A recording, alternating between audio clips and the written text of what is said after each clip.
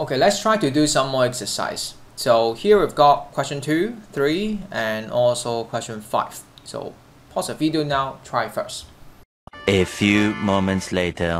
Okay, question number 2 is said there's a ball going back and forth along the floor, bouncing off the two walls. So the picture that I can imagine is there are two walls and the ball just go back and forth like this. Okay. And so suggest whether or not this motion is an example of oscillation. So I think why not?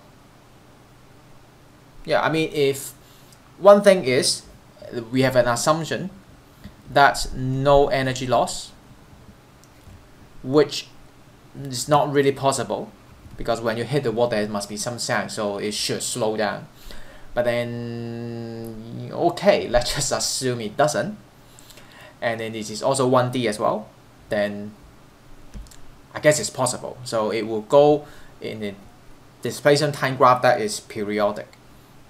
And it asks whether or not the oscillation is simple harmonic motion and the answer is definitely no. Okay so yes for oscillation but no for simple harmonic uh, one very important idea is a proportional to negative x. And so think about the ball when it is rolling across you know the space between the two wall there's no acceleration.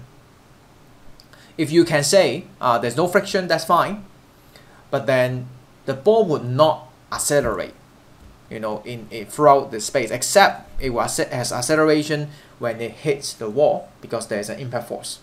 So the velocity will simply be constant when there's no net force.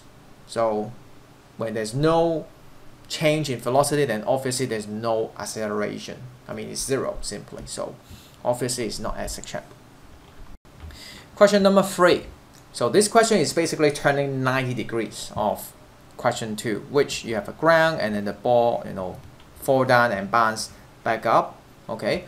And even if we try to assume there's no energy loss like question 2, then uh, oscillation, I think it would be yes. All right, I'm, I'm, I guess I'm okay with that. So the like you can imagine the displacement time graph is also like probably like this. Yeah, and so for the next question, whether or not it is simple harmonic, it is again obviously no because um, for simple harmonic motion, again like here, there's no equilibrium at all, right? I mean, acceleration, yes, you have acceleration this time, right? Always having acceleration, which is due to the gravity, but then it's always going downward.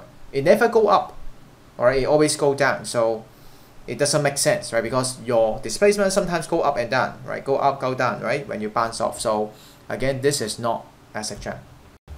Question number five. So here we've got kinetic energy over time graph.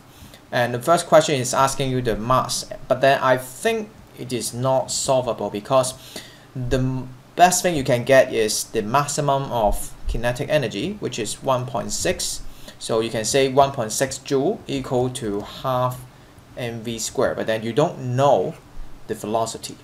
So I don't think you can find out. Even if you know period, which is in part 2, uh, you still cannot find it. So part 1 is actually not solvable.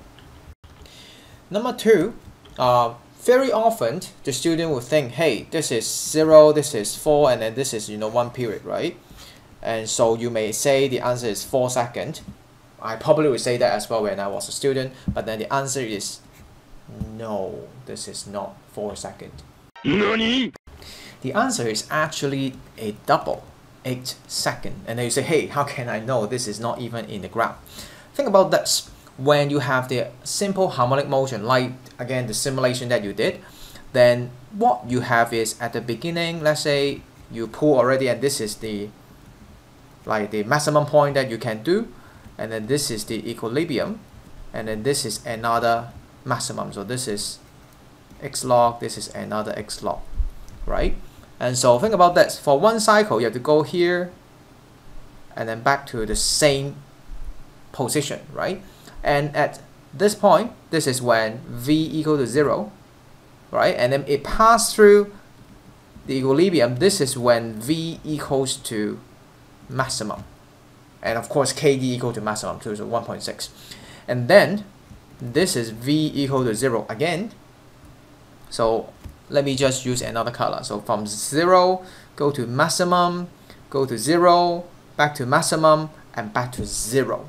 So if you think about this, this is again here, 0, maximum, 0, maximum, 0.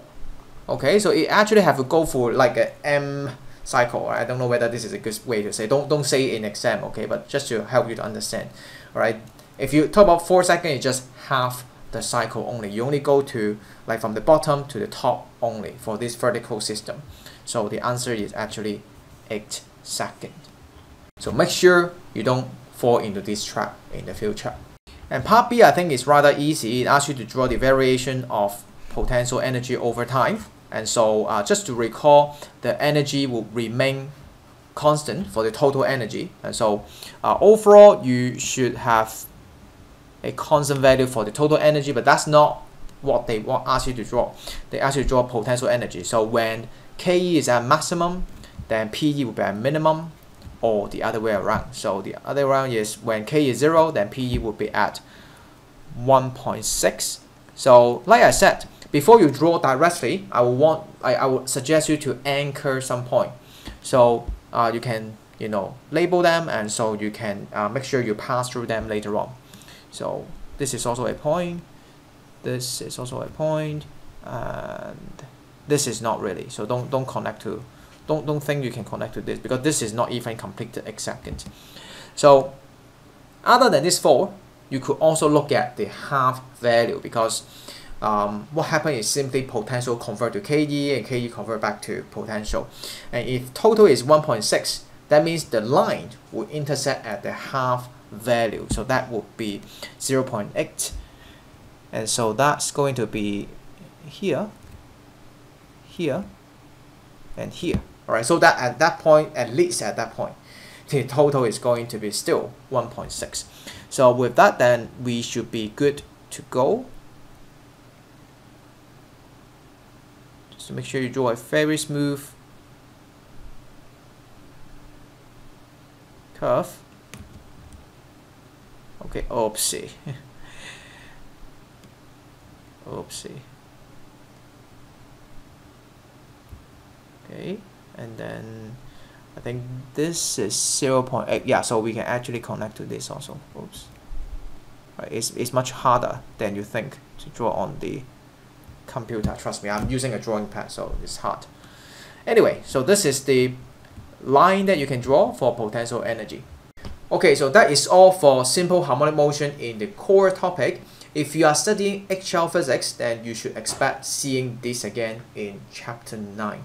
And we'll put more, much more maths into that. So stay tuned for chapter 9.